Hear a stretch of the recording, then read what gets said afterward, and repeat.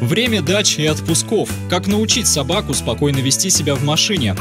Смотрите программу о животных «Хочу домой» на телеканале «Самара ГИС». Гость в студии – главный специалист отделения дрессировки Главного управления МВД России по Самарской области, полковник в отставке Михаил Дунаев.